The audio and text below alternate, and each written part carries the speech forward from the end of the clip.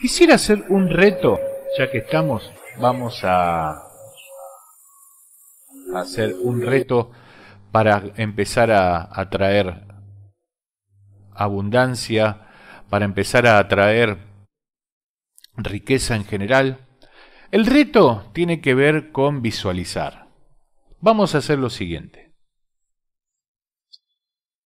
A partir de hoy,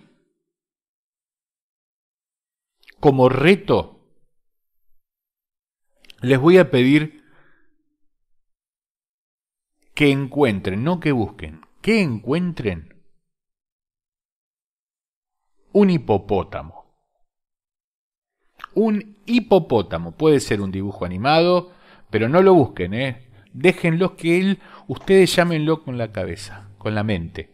Visualicen que van a encontrar un hipopótamo.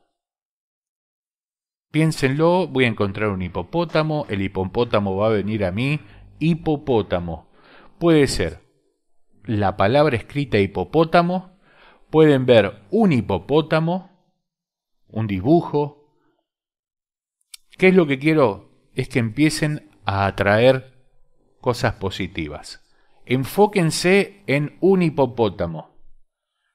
Les repito, puede ser la imagen, un dibujo, un muñeco, la palabra, lo que es un hipopótamo. Pero si no lo busquen, déjenlo que él se les va a aparecer. Piénsenlo y después vamos a ir con otro reto.